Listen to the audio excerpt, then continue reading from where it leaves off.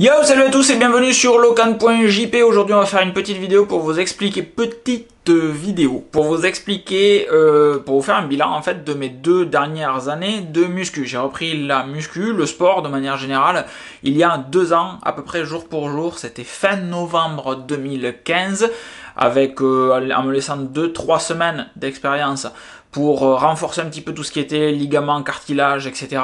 et pas me péter de suite pour l'avoir fait de multiples fois quand j'arrêtais et reprenais le sport de manière intensive en étant plus jeune. Euh, la maturité de mes 28 ans à l'époque, 30 ans aujourd'hui, m'a conseillé de prendre bien 2-3 semaines pour monter progressivement en charge, y aller gentiment, etc. C'est super important. Euh, donc ça fait presque deux ans jour pour jour que j'ai repris la muscu et les entraînements. J'y vais quotidiennement à la muscu, essentiellement à cause ou grâce à ce petit machin là. C'est une Apple Watch. Et il y a le principe des petits cercles à compléter tous les jours, les cercles de calories. Euh, mon objectif de calories quotidien est de 500 calories. En réalité, j'éclate presque les 800, 900, 1000 calories quasiment tous les jours. Euh, parce que ben parce que tout simplement mes entraînements sont assez intenses. Un entraînement c'est entre 700 et 800 calories pour moi, plus ce que je crame dans la journée. On passe assez régulièrement les, les 1000. Euh, entraînement tous les jours, décortiqué actuellement de la manière suivante. Le lundi je travaille les pectoraux. Euh, triceps ou dos biceps. Le mardi, ben, l'inverse, dos biceps ou pectoraux triceps. Le mercredi, je fais les jambes. Le jeudi, je fais les épaules. Ou inversement, mercredi, jeudi. Ça dépend d'où il y a des personnes sur la salle en fait. Et le vendredi, je fais un rappel sur les bras. Le samedi, c'est mon seul et unique jour de repos. Le vendredi, du cardio. Le lundi, on rattaque. Euh, quand j'ai commencé la muscu, je faisais 73 kilos. Aujourd'hui, j'en fais 92. 92 kilos à 13% de matière grasse à peu près c'est très correct, ça, les abdos sont bien tracés, etc. On voit pas les veines partout. Sur les épaules, on les voit, sur les bras, on les voit aussi, sur les cuisses un petit peu, euh, mais c'est pas tracé, écorché à la, euh, je sais plus comment il s'appelle, Efron là, le, mec qui joue dans Baywatch avec Dwayne Johnson. c'est, voilà, je reste tracé. le plus important selon moi d'un point de vue physique, c'était de tolérer le reflet que j'avais dans le, que le miroir me renvoyait. C'est très personnel. Euh, je me fiche de plaire aux autres. Je veux avant tout me sentir bien dans ma peau et me plaire à moi. Et c'était l'objectif unique de la muscu. Donc là aujourd'hui je suis à 92 kg, je varie entre 90 et 93 en général. Euh, là c'est une période à peu près un peu gras, euh, les abdos se cachent un petit peu, il faut vraiment que je serre pour qu'on voit les petits carrés proprement. Euh, ça va repartir dans quelques semaines, je fonctionne là sur des petits cycles, sans faire exprès, mon corps a ces petits cycles tout seul, où ben, je fais un peu de gras et je gagne un peu en force, et puis ensuite, pof, je repère tout ça en mangeant un peu moins, mais c'est, je sens que là je recommence à manger un peu moins. Corps a ses cycles, il faut l'écouter, il faut le laisser faire aussi. Euh, bref, il y a un an, je faisais 73 kg, aujourd'hui j'en fais 92, 20 kg de gagné en deux ans, euh, ce qui est pas loin du, du, du score parfait en fait. On considère qu'on prend entre 1 kg et 1 kg 5 de masse maigre par mois. Euh, ça serait 24 kg si c'était parfait, ou un peu plus, 25-26. Mais il y a un moment où on arrive à... Euh, on progresse très vite en muscu, mais il y a un moment où on, stagne en restant naturel, évidemment, si on se pique à la testo ou à la nandrolone ça fait passer des paliers et on grossit de suite. Moi, c'est pas l'idée. Euh, et du coup, euh, en restant naturel, on appelle ça naturel, les gens qui se piquent pas. En restant naturel, j'arrive à 92 kg et je vois mal comment je pourrais prendre encore du poids. Je pense que là, j'arrive à saturation de ce que peut faire mon corps en restant naturel, en mangeant bien. Après, il faudrait que je fasse vraiment super attention à l'alimentation pour passer à notre palier. Encore une fois, c'est pas l'idée. Euh, donc, j'ai l'ordi là en bas avec les petites notes. Les changements physiques, euh, ben, c'est cela. Mon tour de bras faisait 35-36 cm. Aujourd'hui, je fais un petit 42 cm de tour de bras. Ça se voit pas trop avec le pull, mais j'ai des bons petits bras et c'est cool.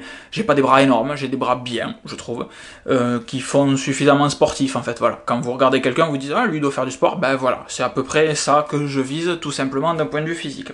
Il y a évidemment eu une amélioration des performances. Donc là, c'était l'amélioration du physique, évidemment.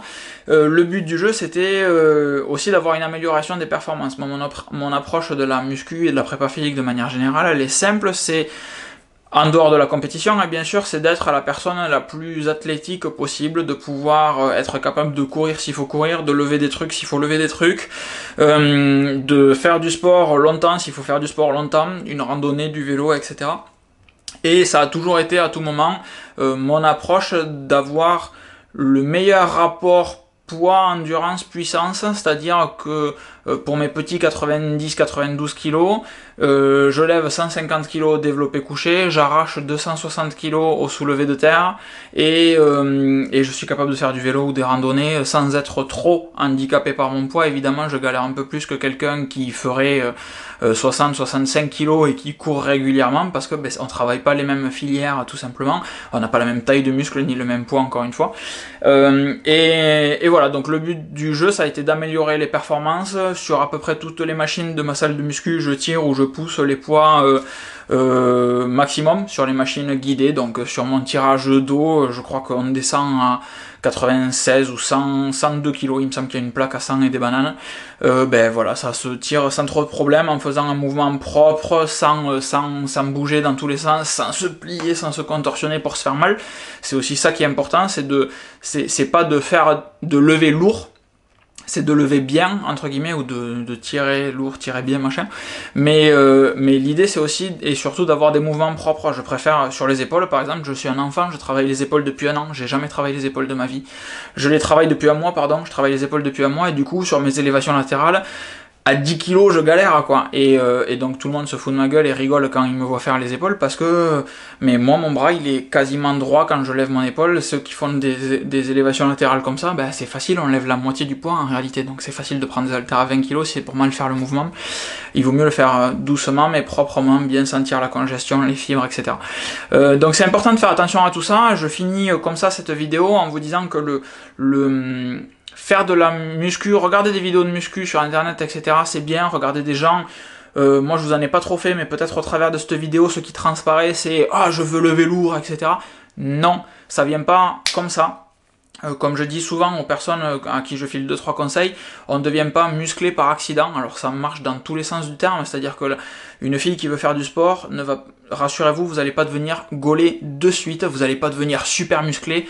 Euh, Arnold Schwarzenegger avait fait une réponse qui était fabuleuse à un journaliste qui voulait se mettre à la muscu, il lui avait dit ouais mais moi de toute façon je voudrais jamais être comme vous. Et il lui avait répondu mais même si tu essayes tu n'y arriveras pas. On ne devient pas réellement musclé par accident. Très clairement, moi j'y suis tous les jours. Euh, je mange bien, je sais ce que je fais comme mouvement de muscu, etc. Je, connais mon corps déjà depuis des années euh, et, et j'ai une progression qui est somme toute assez relative. Euh, donc il y a plein de gens qui sont tous les jours et qui ont quasiment pas de résultats parce qu'ils s'entraînent à l'arrache, etc. Donc surtout s'il vous plaît, faites attention, documentez-vous. Je vous ai mis un lien en fin d'article juste en dessous là, allez le voir. C'est le seul bouquin que je vous conseille d'acheter pour la muscu. C'est la méthode de musculation de Frédéric Delavier. C'est la Bible. Si vous voulez faire de la musculation, si vous voulez faire du sport qui implique euh, des poids ou des mouvements un peu isolés, c'est vraiment le bouquin à acheter. La méthode de musculation de Delavier, ça vaut 23 euros sur Amazon, c'est que dalle, 22,90. Vous allez la chercher à la FNAC, il doit y en avoir, ou chez Decathlon. Moi, je l'avais acheté chez Decathlon à l'époque, il y a 10 ans de ça. Euh, parce que c'est un, bouquin qui est très vieux, mais c'est la référence, c'est le bouquin le plus vendu dans le monde. C'est des, des, écorchés qui montrent les mouvements avec des explications parfaites. Si vous changez l'inclinaison, si vous tournez les poignets, etc. Réellement, prenez ce bouquin, offrez-le à quelqu'un qui fait de la muscu, c'est Noël, etc. Donc achetez ce bouquin et offrez-le. Il y a des déclinaisons pour les femmes, pour les mecs qui font de la du, du, du fight, etc., de la boxe, machin. Réellement, les bouquins de Fredo Delavier sont fabuleux. Foncez là-dessus. Euh, mais faites attention à vous, entourez-vous toujours d'un professionnel de santé ou euh, regardez ces bouquins-là de Fredo Delavier et pas les débiles sur YouTube qui vous montrent euh, comment lever des centaines de kilos. Vous y arriverez pas du jour au lendemain. Il y a plein de petits gars à la salle de muscu qui lèvent des poids trois fois comme me, alors qu'il tremble dans tous les sens, arrête, ton corps n'est pas prévu pour lever ça, vas-y tranquillement, épaissis-toi, renforce un petit peu tout ce qui est muscle profond, etc., tout ce qui est stabilisateur, les muscles du tronc, les rotateurs, etc., avant de vouloir faire des soulevés de terre de débile à passer les 100 kg, calme, chaque chose en son temps, allez-y progressivement, vraiment.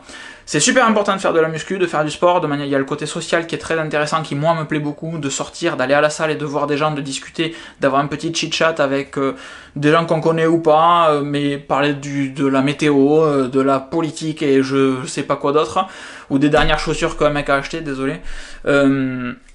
et voilà, juste souffler, se vider la tête, ça fait du bien tentez, je sais pas, je sais pas quoi vous dire. Voilà mon bilan en tout cas de moi, mes deux ans de muscu, j'ai pris du poids, j'ai pris 20 kilos, je suis beaucoup mieux dans mon corps, euh, j'ai des performances physiques qui n'ont rien à voir avec euh, ce que j'étais capable de faire il y a deux ans, euh, et et voilà, et je conseille à tout le monde de faire de la muscu, d'acheter ce putain de bouquin de Frédéric Delavier pour pas faire des bêtises, achetez-le avant de commencer.